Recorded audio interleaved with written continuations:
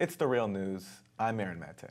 This week, the White House admitted President Trump had a second undisclosed conversation with Vladimir Putin at the G20 in Germany. That disclosure set off a media frenzy, as is the norm these days with anything to do with Russia. Now, speaking to the New York Times, Trump discussed his conversation with Putin. Really pleasantries more than anything else. Was not a long conversation, but it was, you know, it could be 15 minutes, just talked about mm-hmm. things. Uh, we actually, it was very interesting, we talked about adoption. Mm-hmm. You did? Russian adoption, yeah. Mm-hmm. I've always found that interesting because, you know, he ended that years ago. Mm-hmm. And I actually talked about Russian adoption with him, which is interesting because that was a part of the conversation that Don had with this meeting that I think, as I said, most other people, you know, when they call up and they say, by the way, we have information on your opponent. Mm-hmm. I think most politicians, I was just with a lot of people, they said, who wouldn't have taken a meeting like that? Trump's mention of his son Don Jr.'s meeting refers to another media obsession his son Donald Jr.'s uh, meeting with a Russian lawyer. A music publicist named Rob Goldstone told Donald Jr. the lawyer had compromising information on Hillary Clinton to provide him on behalf of the Russian government. Matt Taibbi is a journalist, Rolling Stone contributor, and author of several books, including his latest, Insane Clown President. Matt, welcome. How's it going? All right, so I want to start off by saying that I think it's difficult to have a sober conversation about Russia these days, uh, given that there's such an underlying assumption in media coverage that any dealings with Russians, any conversations with Russians uh, are likely nefarious or at least uh, questionable. But I think we should attempt to try to try to break down some of these stories here. And let's start with what Trump was talking about in that clip there from the Times. Uh, he's referring to Donald Trump's uh, Donald Trump Jr.'s meeting with the Russian lawyer and also his uh, conversation with Putin uh, likely about the Magnitsky Act. And you write in your latest piece for Rolling Stone that there's no way to understand what's going on right now uh, without first understanding the Magnitsky affair. Can you explain it for us? Sure. Well, first of all, just backing up, if you remember uh, the Romney Obama race uh, of 2012, you might remember this moment in the, in the, debate when Romney said that Russia was the greatest uh, threat that we face today, and Obama responded that the you know the 80s want their foreign policy back, or the 80s call they want their foreign foreign policy back. So at that time, it, it was the consensus really in both parties that that Russia was not a grave geopolitical threat.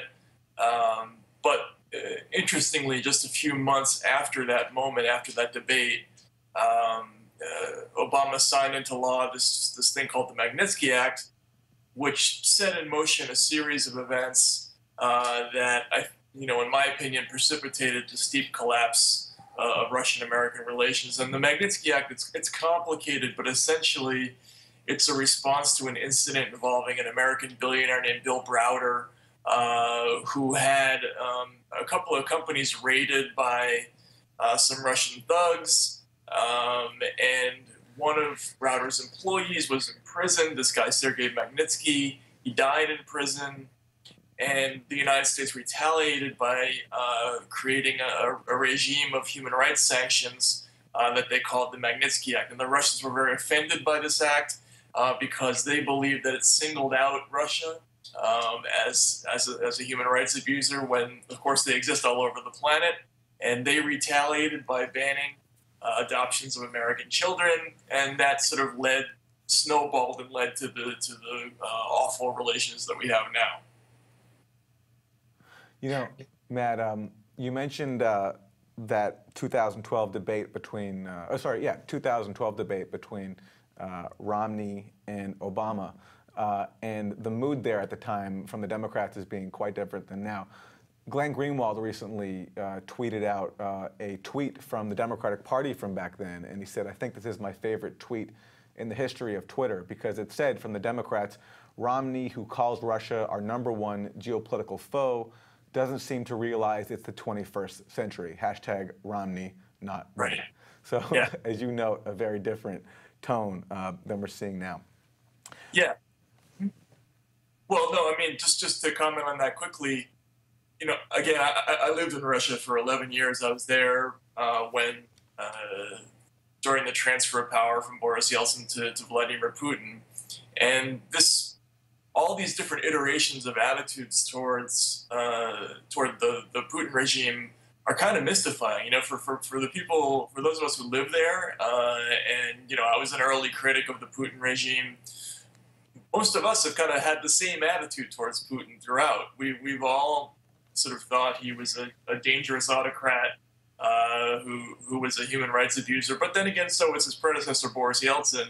Um, but the, the attitude towards Putin from the political consensus in this country is what's changed. He's, he's been the same, basically nefarious character throughout. It's just that, uh, you know, back in 2012, the Democrats didn't mind him so much, and now they do, and and it's it's just interesting that shift in attitudes. Okay, and so on the Magnitsky Act, uh, you note in your piece that um, you had a similar experience to what Donald Jr. described as being the outcome of the meeting.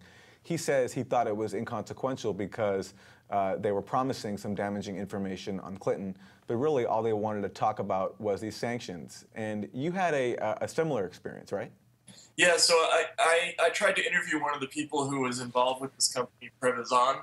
Um, the, the lawyer in this case, who was in that in that meeting with Donald uh, Donald Jr., this woman Natalia Veselnitskaya, she's the lawyer for a company uh, called Prevezon, which is a Cypriot-based company run by this guy named Denis Katsyv.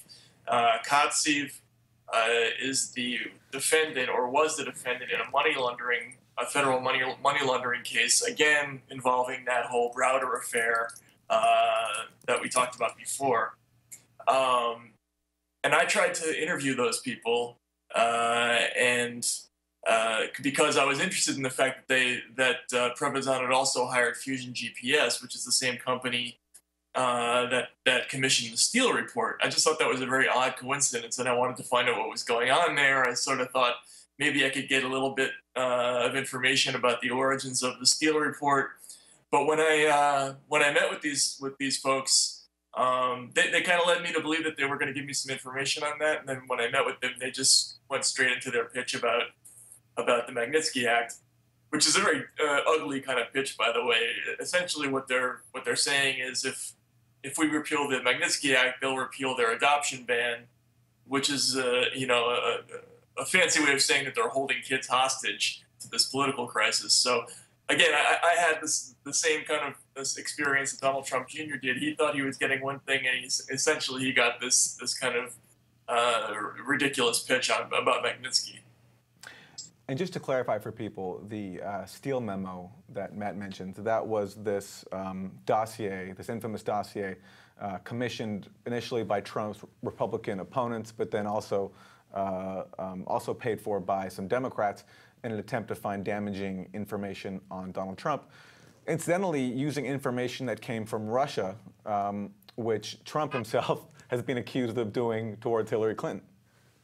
Right, yeah, exactly. I mean, look, the, the distinction, it, to play devil's advocate, what, what I think people would say the distinction is, is that, um, you know, here you had a Russian uh, person who may or may not have been a cutout for uh, higher ranking officials in the Russian government.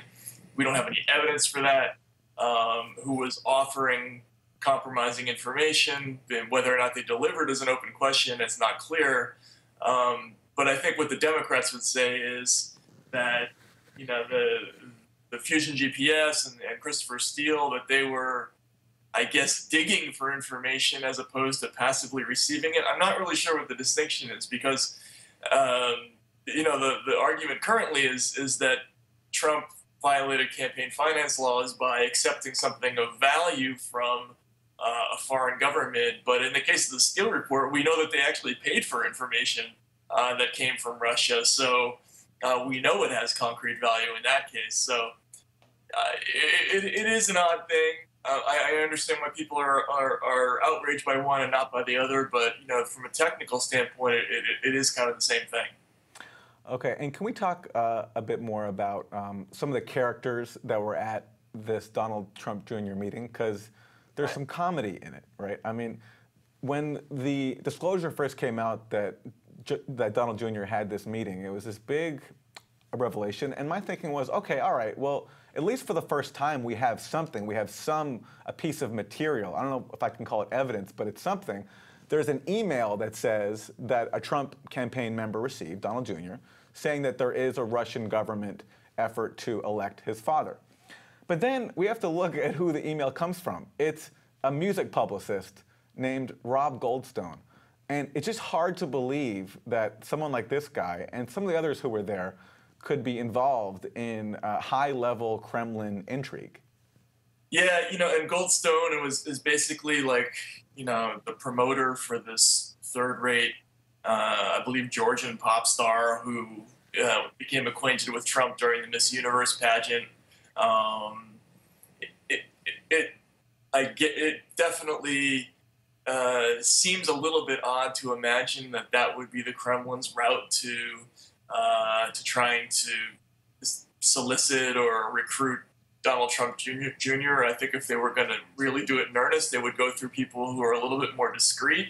Uh, but then again, you know, you you never know. The whole thing is is exceedingly strange. Um, you know, I, I don't think the normal uh, stagecraft in international espionage involves sending a letter that says, you know, if you would like to receive uh, you know, the bounty of our state-sponsored effort to help your father win an election. Please respond in writing. It just that's not the way I think it would normally work. And this character Goldstone is a real goofball, um, and these Prevezon characters are also real goofballs. I mean, they're from what I understand, they're real kind of third-rate provincial uh, goons. That doesn't mean necessarily automatically that they're not somehow in league with the Kremlin. But in, my mind, and in, you know, from my experience living over there, I, they just don't seem like exactly the type. It's possible, but it, but you know, it's unlikely to me. Yeah, and the reaction was just striking to me, uh, seeing it just as the smoking gun. Uh, I saw one progressive outlet use that term, calling Goldstone's email the smoking gun.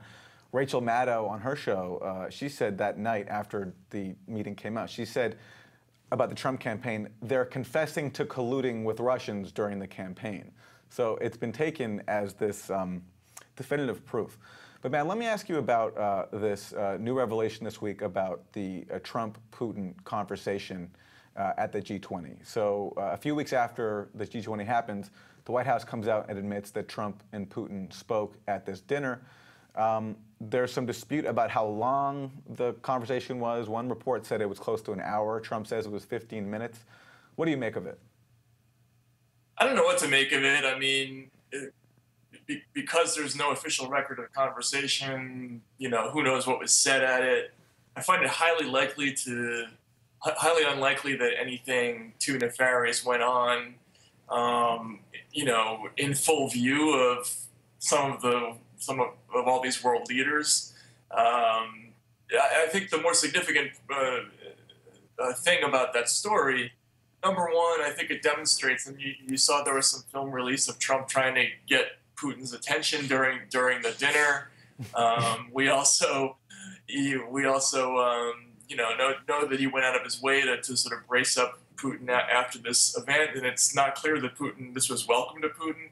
It, it more shows that that this Trump has this bizarre, possibly unrequited uh, affection for for um, for for Putin, and, and this isn't the first time that this has happened. Uh, uh, George W. Bush also had a similar fascination with Putin, and, and he looked into his soul.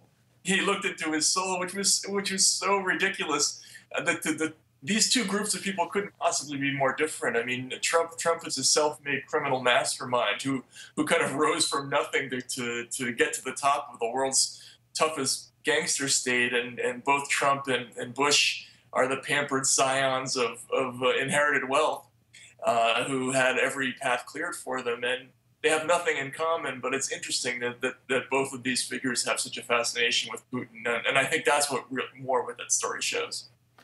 Yeah, you know, in my mind, the most likely connection between Trump and Russia, if there is one, has always been about finances, right? Because that's the part of his his world that is the most uh, murky and, and, shady, and it, which he's been so secretive about. Um, now, putting aside the question of uh, whether dealings with Russia are uniquely nefarious, because of course there's oligarchs not just in Russia, there's shady people all over the world. But what do you make of the financial dimension of uh, the Trump Russia story?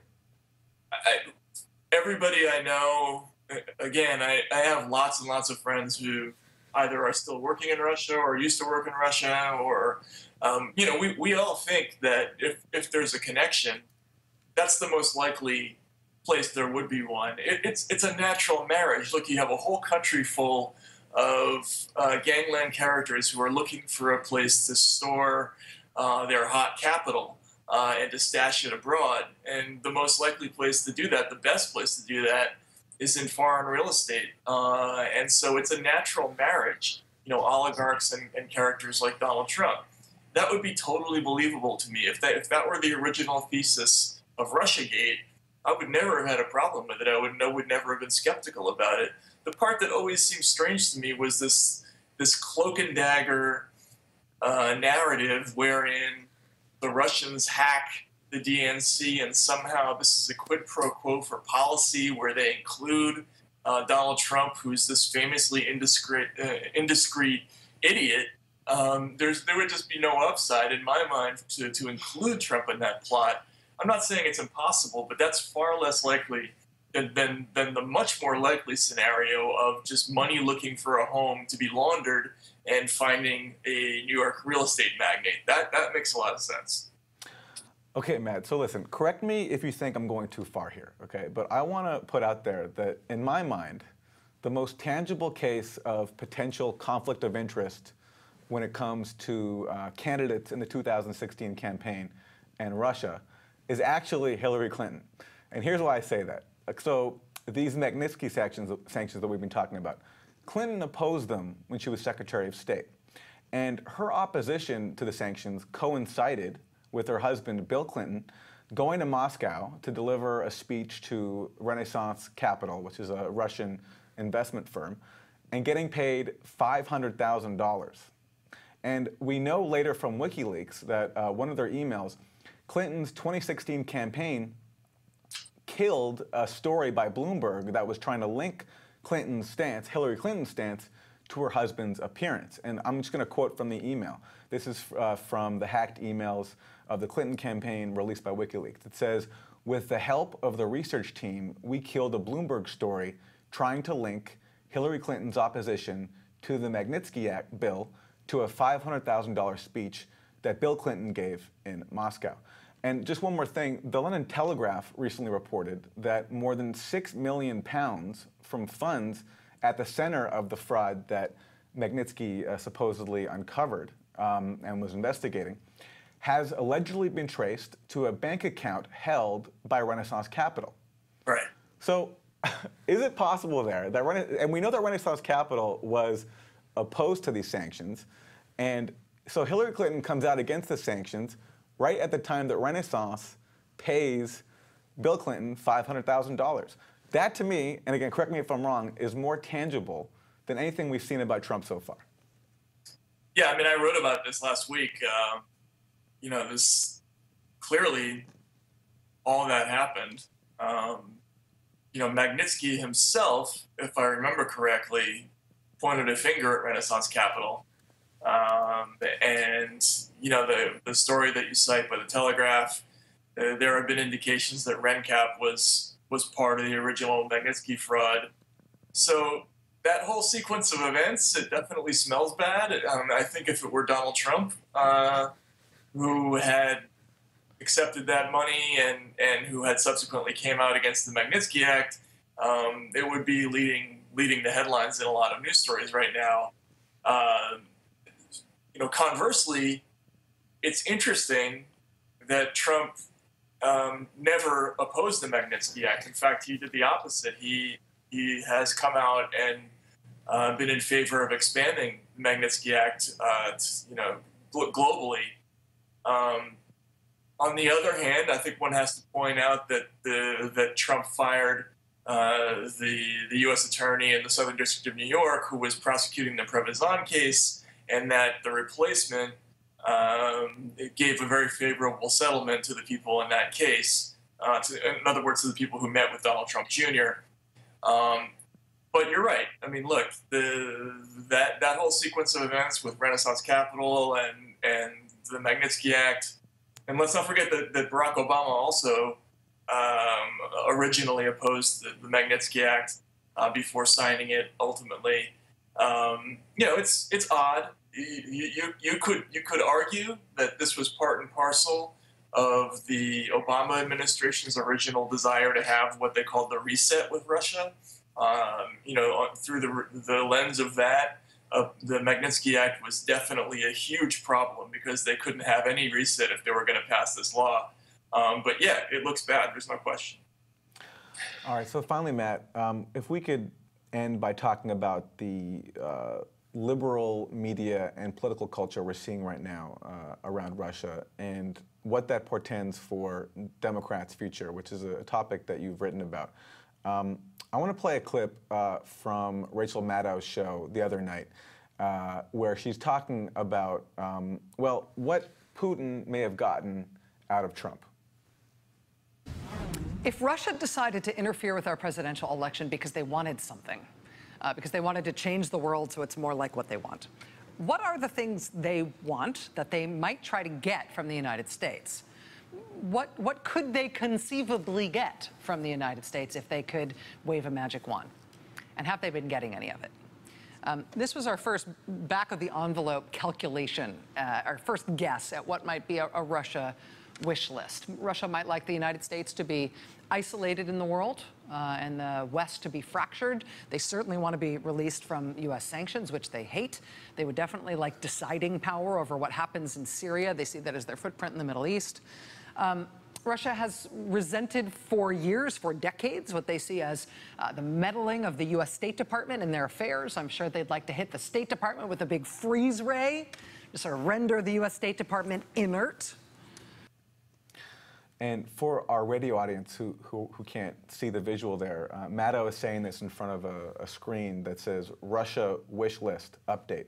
And all the items that you talked about are there. Isolate the U.S., a fractured West, release from U.S. sanctions, deciding power in Syria, and so on. And um, continuing on this theme, um, Matt, I want to quote for you a tweet recently from Donna Brazile, the former chair of the DNC.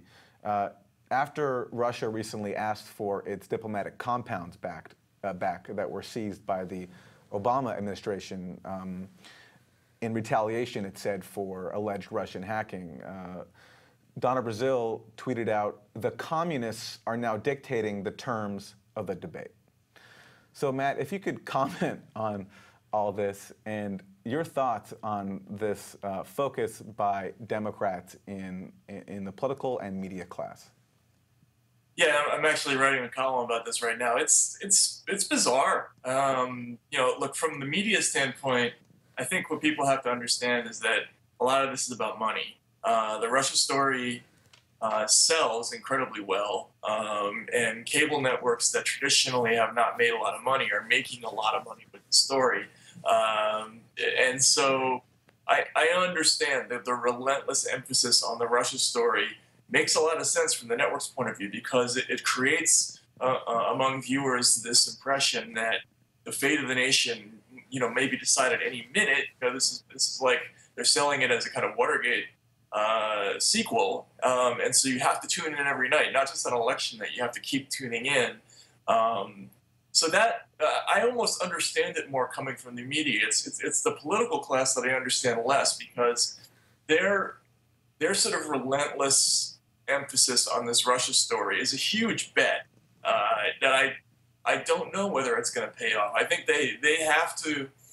They're doing this at the expense of making a cogent argument um, on policy grounds against Trump, and they're they're also um, forcing the the resistance to be synonymous with this Russia story. So in order in order for the resistance to to have meaning, um, the conspiracy has to be true, uh, which you know it, it, would make a lot more sense if if there was a, a, resistance that was based upon you know opposition to Trump's healthcare policies or his environmental views, or you know all of which are totally repugnant.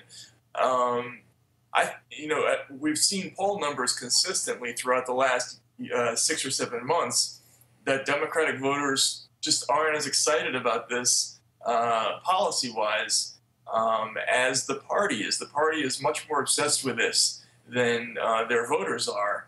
Uh, from a media standpoint of view, again, I understand it because people will tune in, but I don't. I don't think that they that politically it's necessarily a smart move uh, to do what they're doing because um, you know they have Democrats. If there's one thing that's been clear about the election and what happened last year is that they have to reinvent themselves. They have to find a new way to talk to America, and uh, the Russia story is is just it's just delaying that process in my mind. Um, and uh, sooner or later they're going to have to have something else to talk about, and it's it's it's odd that they're they're retreating so quickly to this sort of neo Cold War thing. And, and, you know, the Donna Brazile quote is amazing. It just shows that you know they don't even differentiate between the Soviet Union and and modern Russia, and that they've they've missed you know maybe 30 years of history in between, uh, and they're oversimplifying things. So it's it's a very strange thing. Yeah, Matt, so strange. I just want to say that it means joining forces with, uh, as James Carden and Glenn Greenwald have pointed out in recent pieces, joining forces with neocons like David Frum. Right. Yeah. No. And, and uh, look, the, the backstory to this whole RussiaGate thing has been this growing consolidation of attitudes. Um, you know, the opposition to this kind of reset or rapprochement that both Barack Obama and to I think to some extent Vladimir Putin wanted back in 2009, 10, and 11. Um, you know, there was always opposition to this, and it, it always existed both within the Democratic Party and in the Republican Party. And I think that's part of the backdrop uh, for this Russiagate thing. You know, in my mind, originally the Magnitsky Act was the way that uh, opposition to this kind of thaw in relations between the two countries, that was how it originally coalesced. But now Russiagate has replaced the Magnitsky Act, and that's where you know the neocons are joining up with hardliners in the Democratic Party. And people have to understand that there's there's an enormous incentive on both sides uh, for you know this hardening of relations because it means more spending on the military, more spending on espionage, more spending on security. Um, you know, the, the countries never were really comfortable with each other as friends, uh, and they got used to this, this to being enemies with each other. And, and you know, institutionally, there's there's momentum in that direction, and that's a factor in this whole story. Matt Taibbi, journalist, Rolling Stone contributor, and author of several books, including Insane Clown President. Matt, thanks so much. Thanks so much, Aaron. And thank you for joining us on The Real News.